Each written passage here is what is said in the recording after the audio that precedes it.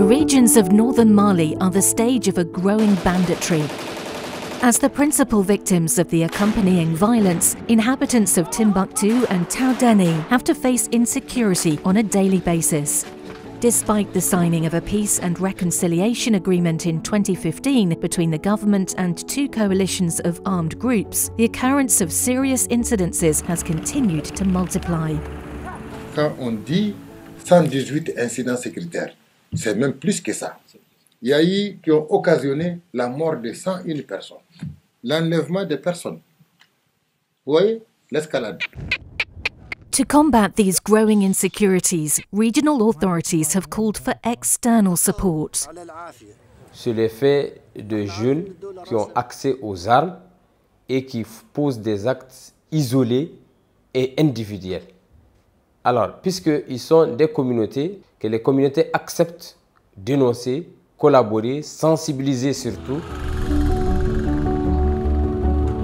After several months of mediation with the Centre for Humanitarian Dialogue, two security management frameworks were created. One in 2017 for the regions of Timbuktu and Taoudenni, and the other in the neighbouring region of Gao in 2020. Their goal? To get groups in conflict to collaborate. Il y a un adage de chez nous qui dit que quand le bateau ou la pirogue est sur le point de chavirer, personne ne peut le sauver en dehors de ceux qui y sont. Cela veut dire, et la solution de la menace se trouve entre nos mains, nous, sans distinction aucune. Around the discussion table are the interim authorities, the governorates, and the prefectures, the Malian armed forces, the heads of the signatory armed groups, but also the community and religious representatives. Aujourd'hui, malheureusement, dans ce territoire, on voit des proches, des voisins ou des frères qui sont en train de se tuer entre eux. The security management frameworks work to bring peace to the localities and the principal roadways.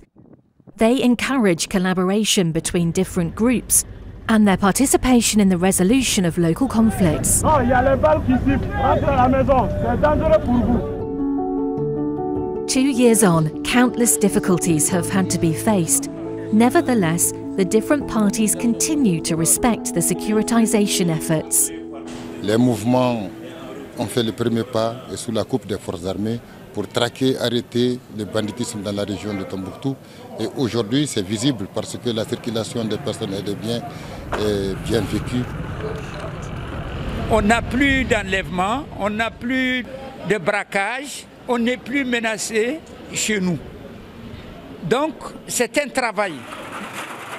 The Centre for Humanitarian Dialogue will continue to support the members of the security management framework of Timbuktu, Taoudenni, and Gao. HD will continue its other support activities involving all the armed actors, with the goal of ensuring the security of the three regions.